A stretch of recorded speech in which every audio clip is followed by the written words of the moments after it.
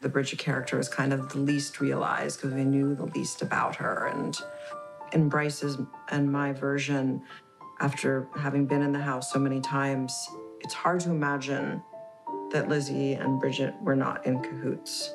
I won't let anyone hurt you. I can't promise that. I will make good on it. You need my help. You have it.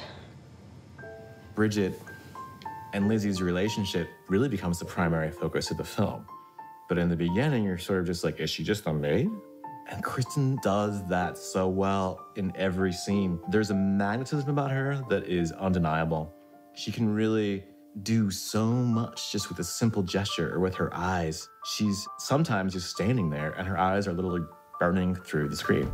I was definitely trying to seduce her via emails and text messages and lure her in to our world. And I was like, let's smash the patriarchy. But I think that she saw that it was something special and wanted to support me as a fellow actress and human and woman. And it's really generous of her to come down here and, and give us her time and efforts. And she's brought so much to the script.